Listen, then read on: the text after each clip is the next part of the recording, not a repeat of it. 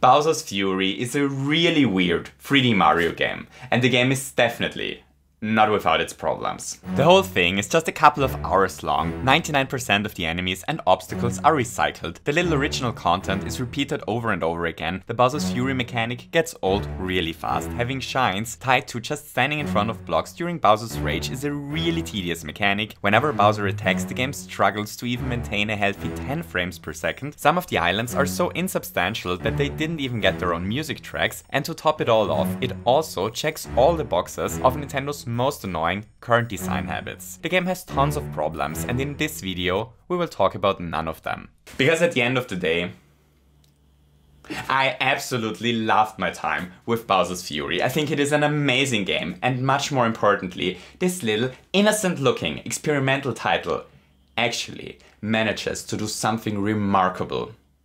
The game solves the 3D Mario paradox that Nintendo has been struggling with for decades. So today, we're going to take a deep dive into the 3D Mario paradox. We're going to discuss how Nintendo managed to pull off the impossible with Bowser's Fury, and what implications this might have for the future of the Mario franchise as a whole. So are you ready? Let's do this!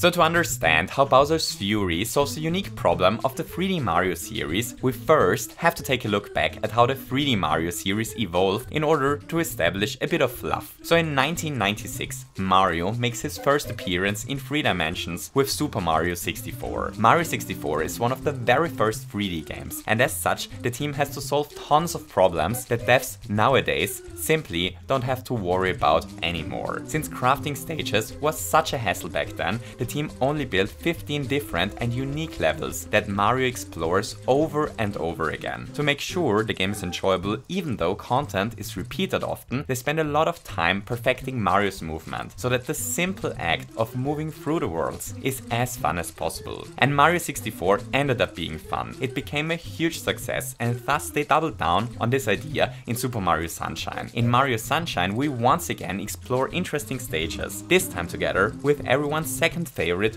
flash liquidizing ultra dousing device called FLUDD, while jumping around using one of the very best movement systems Nintendo ever made. The focus in Sunshine is once again on controlling Mario and on exploration. And as Mario 64 before, Sunshine ended up being a ton of fun. But the moment-to-moment -moment gameplay of Super Mario Sunshine has pretty much nothing in common anymore with the gameplay of the original 2D Mario games. But this changes when Mario makes the jump onto the Wii. In Super Mario Galaxy 1 and 2, Mario's movement options are drastically reduced. Instead of focusing on exploration with incredibly fun movement mechanics, Galaxy focuses onto the different levels. Galaxy is much more linear. Instead of exploring sunny beaches or jumping through wide open plains, Mario suddenly infiltrates linear cookie factories or follows predefined paths to blow up gigantic and apparently really evil Bowser toys. And then Nintendo releases Super Mario 3D Land and shortly after 3D World. And those games have nothing to do with 3D Mario's origins anymore. There is no open exploration in those games and Mario's movement is tuned down to an absolute minimum. Like we even lose the ability to triple jump. Instead, the game now plays out entirely like a 2D Mario game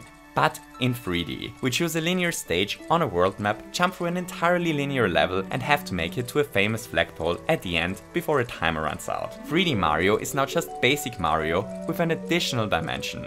That is, until very recently. But with Super Mario Odyssey, Nintendo suddenly completely changes the direction of the series again. Super Mario Odyssey goes back to Mario's roots in 64. Odyssey famously focuses on movement and exploration, with most of the platforming challenges being tucked away into completely separate rooms. The exploration and the movement in Odyssey are fantastic. But those separate platforming challenges well, those separate platforming rooms are definitely fun, but at least in my opinion, they never really managed to reach the insane heights that 3D Worlds levels are able to reach with their much more linear approach. History lesson over and out. So what is so remarkable about the history of 3D Mario and why did we just take a look at all of this? Well, the thing is, there is no clear defined idea of what a 3D Mario game even is. Super Mario Sunshine, for example, and Super Mario 3D World are two vastly different games. The gameplay of Super Mario Sunshine has pretty much nothing in common with the gameplay of 3D World.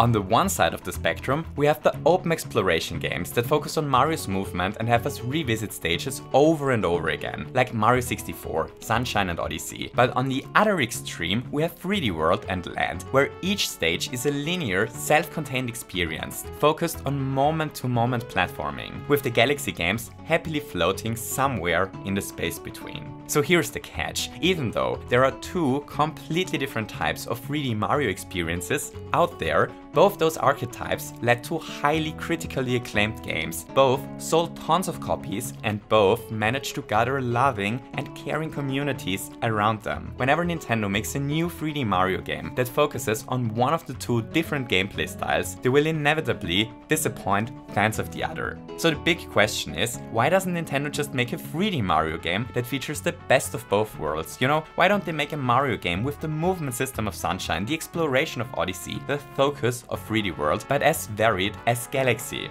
Well, I'm glad you're asking, kind rhetorical person, because this is because of the paradox we chatted about in the beginning. The two different types of Mario experience are exclusive to each other. They can't exist alongside. If a game focuses on open exploration, it can't focus on linear challenges. We either run through a stage exploring every corner at our own pace like in Sunshine, or we jump through amazing platforming focused challenges like in 3D World, but having the one rules out the other. And that is actually true for a lot of different aspects of the Mario games. We can either have a companion like Cappy in Odyssey that adds tons of crazy movement options and allows for insane trick jumps, or we can have several power-ups that change the way we play a specific stage. We can either have wide, fast and expressive movement like in Mario 64 or tightly designed challenges toying around with crazy gimmicks like Galaxy with its gravity shenanigans. It's like with Game Freak where we can either have beautiful state-of-the-art graphics or a new Pokemon game. It's either 3D World or Sunshine, either Galaxy or Odyssey, 3D Land or Mario 64. But gameplay, like in both of them at the same time just isn't happening. One way to design a Mario game is just in direct opposition to the other way. That's the huge unsolvable paradox of the 3D Mario series. And sadly, this is a problem without a solution.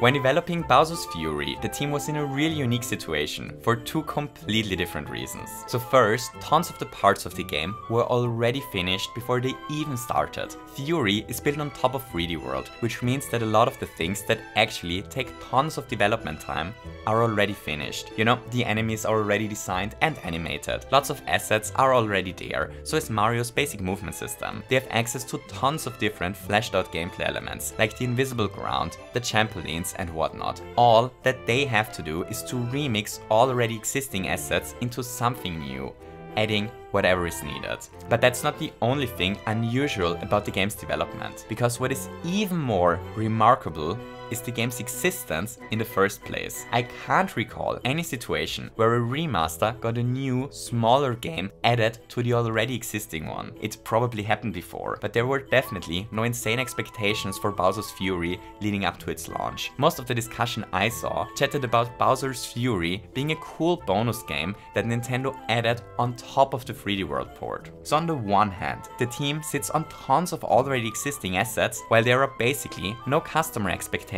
about how Bowser's Fury should play. This is a perfect framework to focus on the design of the game and to test the waters for a couple of unusual ideas. It is a perfect opportunity to experiment a bit with what 3D Mario could be in the future. It is a perfect opportunity to look for ways to evolve the Mario series and most relevant for us, if there ever was a moment to try to solve the paradox of 3D Mario gameplay, well then, here it is.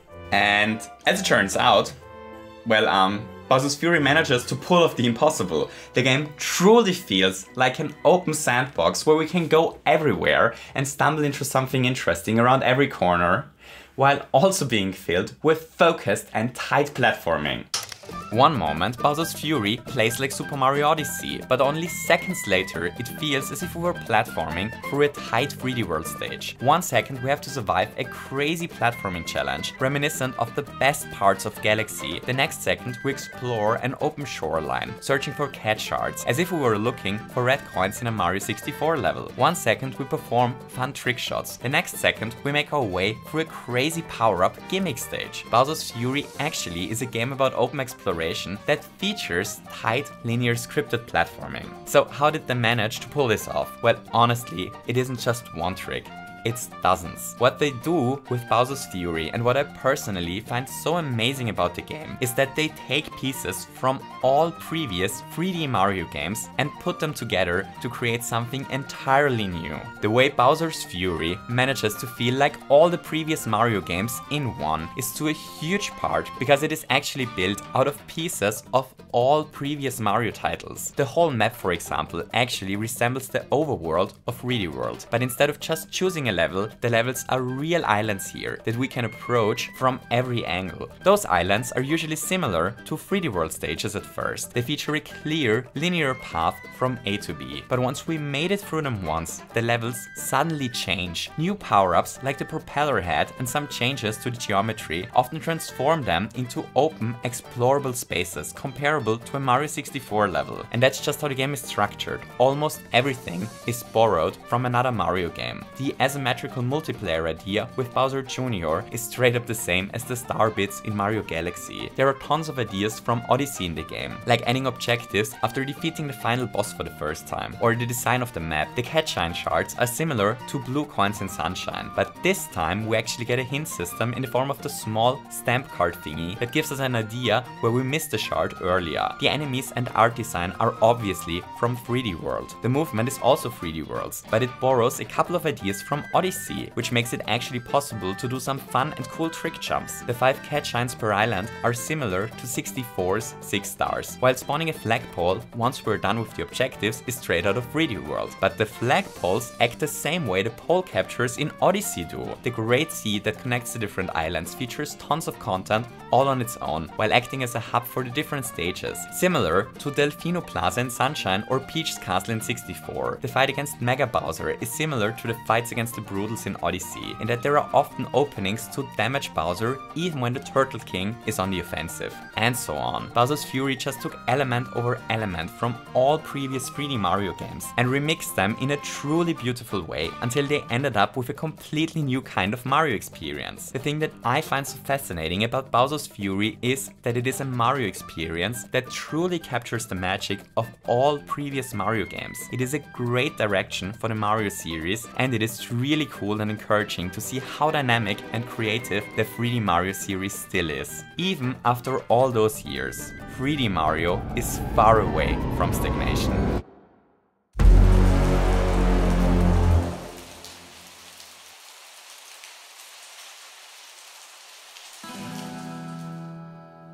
The year is 1988. A new strange drug called crack starts to appear in cities all around the US. The Iron Curtain is showing first signs of dropping. Who Framed Roger Rabbit is running in the cinemas. I am well, I am busy handling the preparations for my own birth in a couple of years, and Nintendo well, Nintendo is actually doing fine. The NES is at the height of its popularity, and they just released Super Mario Bros. 3. Super Mario Bros. 3 ended up being a great success, and it ended up being insanely influential for the future of the Mario series. In Super Mario Bros. 3, we choose which stage we want to play on one of several world maps. The world maps feature different themes, like a desert world, a plains world, or a beach world, and act as a hub for the different levels. Each of those levels is a linear platform platforming gauntlet, focused on a single idea that is then escalated over the course of the level. The game features several returning power-ups, as well as a new power-up that provides a lot of in-air control. We defeat evil Hammer Bros, Koopas, Goombas and fight boss battles against the Koopalings on our journey to save our beloved kidnapped princess. And so on. So why are we talking about the structure of Super Mario Bros. 3? Well, because SMB3 basically invented the blueprint that all 2D Mario games afterwards follow. The game ended up being so brilliant that even today, over 30 years later, 2D Mario games still are structured almost in the exact same way. On the one hand, it really speaks to the quality of this formula that Nintendo never really felt the need to change it up, but on the other hand, well, you know, the last time the 2D Mario series changed in any significant way, people were still saying East or West when talking about the country Germany, so that everyone knew which one of the Germanys they were talking about. This formula was able to carry the series for decades, but with the latest entries in the 2D Mario series, it really became apparent that the series is creatively exhausted. As much as I personally love the new Super Mario Bros. series, the four games are basically all just Super Mario Bros. 3 again. But not only did Nintendo run out of new ideas for their latest 2D Mario games, but public interest in 2D Mario also slowly started to fade. And so Nintendo did what they always do when people get fatigued with one of their franchises. They took the poor Mario series and locked it away in their horrible vault to only release it once people are really really demanding a new game in the series. The 2D Mario series now lives a cozy life alongside all our favorite Nintendo captains from F like Falcon to O like Olimar. And you know, honestly, I get why they would do that. The four different new Super Mario Bros. games all released over the span of 6 years. They pretty much explored all the ideas possible. There isn't that much new they can do with the formula. It's now been over 8 years since Nintendo released a new 2D Mario game, and we have no idea if they are even working on a new one. So here's the thing. I was honestly never really that sad that Nintendo put the new Super Mario Bros. series into their horrible the games are great, but I honestly prefer them not crafting 2D Mario experiences at all over them flooding the market with the same game every year. But, and this is where this hopefully gets interesting, it is not entirely true that Nintendo stopped to craft 2D Mario experiences, because they released new 2D Mario levels very recently. They just released them in a 3D game. I'm talking about the beautifully realized retro 2D sections in Super Mario Odyssey. The first time I played through all of those crazy stages, I was in awe. Some of them have us replay important moments of Mario's past in front of a cinema audience. Others send us through the different parts of a drawn wall fan. Some play around with crazy gravity shenanigans, while others challenge us to stay within the 2D area in order to not become ugly and three-dimensional. But my personal favorite 2D sections are those that toy with the three-dimensional space onto which they are drawn, the sections that have us run around corners or in circles, the challenges where falling vegetables block our view, or the one in the Ruined Kingdom, where we first have to set the platform layout before we are actually tasked to platform through it. Those creative and incredibly well-realized challenges really got me to think about how much untouched potential there is for 2D Mario platformers, and how many ideas there are that Nintendo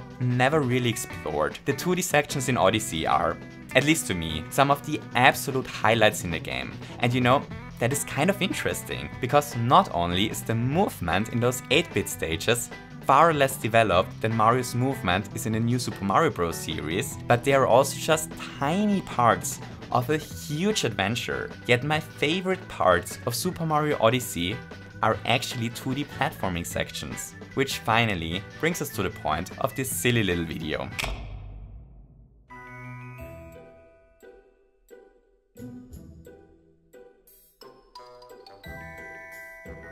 So here's the thing, Bowser's Fury is this beautiful experimental title that, despite many flaws, manages to combine the impossible. Fury combines all the incredibly varied ways Mario played previously in 3D into something new that is greater than the sum of its parts. Meanwhile, the 2D Mario series is creatively totally exhausted. Interest is dwindling and as far as I can tell, Nintendo is so desperate about the future of 2D Mario that they locked it into their horrible vault. Yet Super Mario Odyssey releases with all those amazing retro sections that toy around with the idea of 2D levels printed on three-dimensional surfaces. Those stages are not only highlights of the game, but they are also an idea that has insane potential and there are tons of things possible with it that aren't really explored so far. All of this really got me to think if it might not be time to drop the separation between 2D Mario and 3D Mario for the next real mainline Mario game. You know, similar to how Bowser's Fury tears down the walls separating linear platforming and open exploration Mario, maybe the next Super Mario game could do the same for the separation between 2 and 3D. It could be a game that follows in the footsteps of Bowser's Fury with 2D sections similar to the creative 8-bit sections in Odyssey. The 2D sections could feature a handcrafted movement system, perfected for two-dimensional jumping on crazy three-dimensional surfaces you know, have power-ups that make sense in a free